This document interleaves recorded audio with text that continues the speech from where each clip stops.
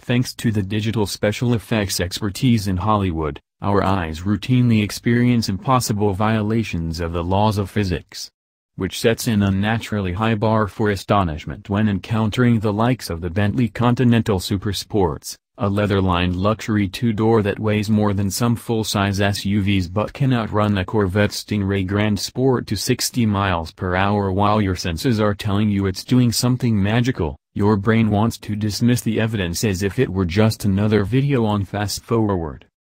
This sense of incongruity was only heightened by the Bentley's preternatural calm as it did ridiculous things on our drive over roads outside Lisbon, Portugal, and on the track at Estoril a former Formula One venue. Its maker claims the Super Sports Coupe takes only 3.4 seconds to reach 60 miles per hour, the same time we measured for a 707 horsepower Dodge Charger Hellcat and for the previous fastest Bentley, the limited edition GT3R.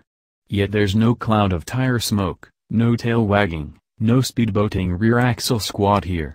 Just tap into its deep wells of power and torque and a big all-wheel drive coupe shoots forward, and seems happy to keep it up for so long as the driver's courage holds out. Aerodynamic resistance finally wins at 209 miles per hour, Bentley says, asserting that this makes the Super Sports not only the speediest Bentley ever but also the fastest four-seat automobile in the world.